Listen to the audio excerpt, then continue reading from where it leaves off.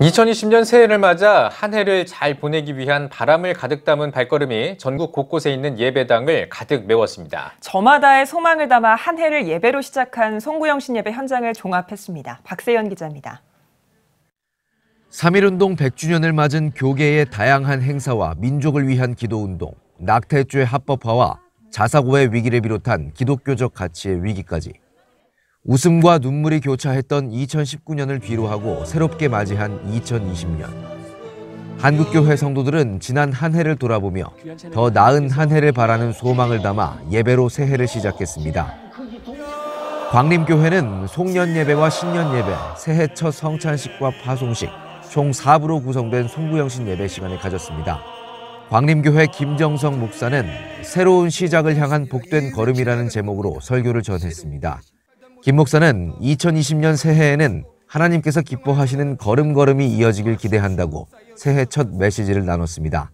성령의 인도함 받는 인생 될 때에 올해 안에 우리의 삶은 하나님의 약속의 성취가 우리 가운데 이루어질 뿐만 아니라 우리 안에 풍성한 열매를 맺어 다른 사람에게 그 열매를 나누어 주는 하나님 나라의 복된 인생, 하나님 나라의 선한 영향을 미치는 인생, 더 나아가 이 땅과 이 나라를 새롭게 바꿀 수 있는 새로운 역사를 이루는 하나님 나라, 하나님의 백성이 될 줄 믿습니다.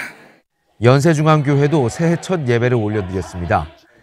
연세중앙교회 윤석 전 목사는 지나간 시간은 결코 되돌릴 수 없다고 설교했습니다. 또 지난 한 해 동안 하나님께 온전히 붙들려 있지 못했던 시간들을 돌아보며 회개하고 새로운 한 해를 바라봐야 한다고 강조했습니다. 그날의 잘못은 그날에 종결하고 그달의 잘못은 그달에 종결하고 그의 잘못은 금년에 종결해버려야 돼. 금년해가 넘어가기 전에 주님 잘못했습니다. 우리 새 약속을 계약을 다시 하시기를 바랍니다. 세문안교회는 빌립보서 말씀으로 새해 첫 은혜를 나눴습니다. 세문안교회 이상학 목사는 하나님의 부름을 따라 표대를 향해 달려가는 새해가 되길 선포했습니다. 또 매년 반복적으로 저지르는 죄와 실수에 대해 돌아보고 그 원인을 알아 하나님 앞에 조금씩 발전되는 삶을 살아가길 기대했습니다. 해가 시작될 때는 어김없이 결심하는데 해가 지나가면서 어김없이 나를 무너뜨리게 만들고 나를 좌초시키게 만드는 그 무엇이 어떤 것인지 입술을 깨물고 내년에는 같은 잘못 저지르지 않겠다고 결심하는 그런 마음이 우리에게 있어지게 되기를 바랍니다. 세den교회는 시편 121편 5절에서 6절을 송구영신 예배 말씀으로 함께 했습니다. 세den교회 소강성 목사는 여호와께서 지키신다는 본문 말씀을 붙잡고 하나님 우편에 서는 성도가 되라고 설교했습니다. 또 한 해 동안 세상에 사로잡혔던 시선을 회개함으로 새롭게 되고 하나님의 시선이 머물도록 간구하라고 전했습니다.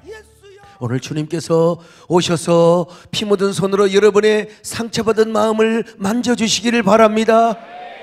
어두워진 여러분의 눈을 만져주시기를 바랍니다. 여러분의 심령이 여러분이 보지 못할 눈을 열어 영생의 길을 축복의 길을 바라보시기를 바랍니다. 주여 썩을 것만 바라보았던 오늘 우리의 눈이 신령한 세계를 바라보게 하여 주옵소서. 평촌 세중앙교회도 2020년 첫 예배를 드렸습니다. 마태복음 6장 33절을 본문 말씀으로 먼저 그의 나라와 그의 의를 구하라는 제목으로 평촌 세중앙교회 황덕영 목사가 말씀을 전했습니다.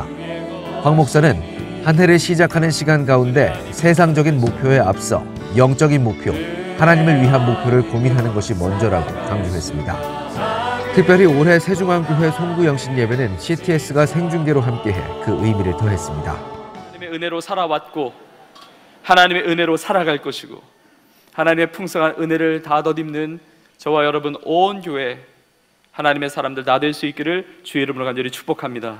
하나님의 말씀에 순종할 때 그 민족은 복을 받고 하나님의 말씀에 순종할 때 그 가정은 복을 받고 그 인생은 다 복을 받게 되는 줄로 믿습니다. 그래서 하나님 말씀에 순종하는 우리의 삶이 되기를 원하고 그래서 하나님께서 베푸시는 놀라운 은혜 남김없이 여러분 다 누리실 수 있기를 주의 이름으로 축복합니다. 첫 발걸음을 시작한 2020년 새해 각자의 자리에서 하나님 앞에 소망을 품고 저마다의 사명을 다짐하는 자리가 이어졌습니다.